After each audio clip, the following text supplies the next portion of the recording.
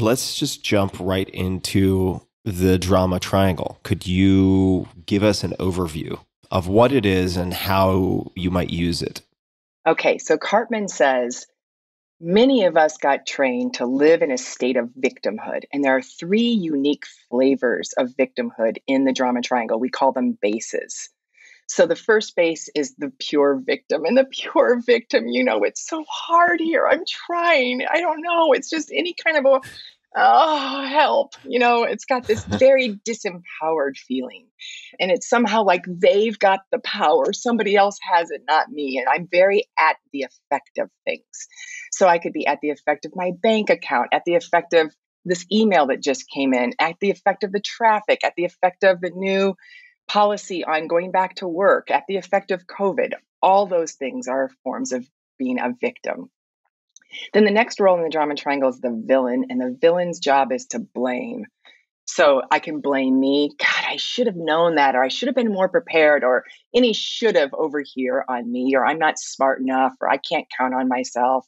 That's all villaining toward myself. Or we can villain toward another you know, you, you're the reason why I'm not having as much fun as I could be having. Or we could be a villain to a group of people, which is very popular in our culture. So we all know who's screwing it up for the rest of us. You know, it's that group over there, and everybody's pointing to particular groups who are the bad guys. So villain's very popular because it gets our adrenaline really kicking in. I think it's actually in the terms of service on Twitter that you have to play that role when you use the service. Anyway, just a side note. Please. Right, right. Who's who's who's screwing it up? Who's wrong? Yeah, you don't know. You're wrong. I'm right. And then the last role in the drama triangle is the hero. It's also called the reliever or the rescuer. And the hero's job is to seek temporary relief. So oh my God, I had such a hard day today at work. Let me come home. I'm going to drink my alcohol or go my do my gaming or get lost in Netflix or whatever I'm going to do to give myself some temporary relief and it works. But I got to do it again tomorrow cuz tomorrow I'm going to come home potentially burn out again and then I'm going to have to do the same pattern. So heroing is temporary relief over and over again. So I can hero myself, I could hero another, you know, oh, you look like you're struggling at work and um, let me take over some of your work that you're doing. And I might do that. I could do that from a place of real presence. But when I'm a hero doing it, I'm actually creating some codependence where I keep needing you to not be able to handle your work so I can keep helping. And then I'll resent you over time. Mm. And then we can hero them. You know, there's a lots of philanthropies, especially in the past. They're getting better at this now, where we just throw a bunch of money at a population. And then next year they have all the same issues and they need more money and nothing ever really changes. So the key thing is temporary relief. So we all know the story about you can give the man a fish every night, or you could teach him to fish for himself. So the hero gives the man the fish night after night after night. Mm-hmm. And if you're off the drama triangle, you shift to a place where you see people as empowered and the hero asks good questions to help people get more effective around them. So my my next question, I want to share an observation from my rereading of the book and then the, the next question, just to plant the seed, is I'm going to ask you why it's called the drama triangle, what drama actually means here.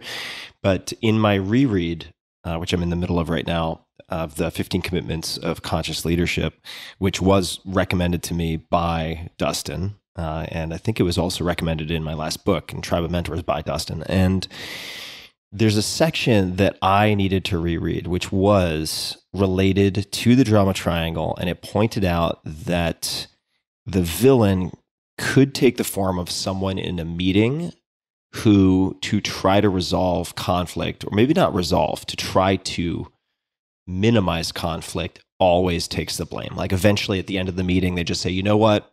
It's my fault. I should have done this, this, this, this, and this. And it's easy, at least for me, to conflate radical responsibility with overly blaming myself for everything.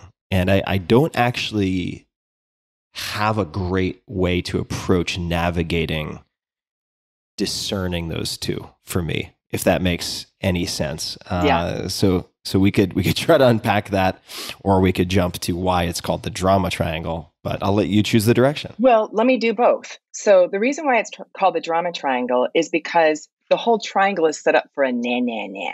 You know, it's I'm right, you're wrong, you're to blame, or I'm to blame. It's it's not asking everybody to really take 100% responsibility for how they're co-creating experiences.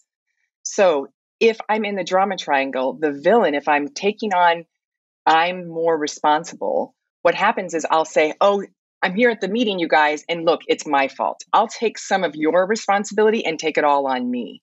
And so there is a place to say, Hey, I have a part in how I've co created this. Let me tell you my part. That would be me taking my 100%. And then I would also know that everybody else has a part to play too. So I'm not taking on their responsibility as well. That's the difference between a villain and somebody who's who's just simply acknowledging I have a role to play here.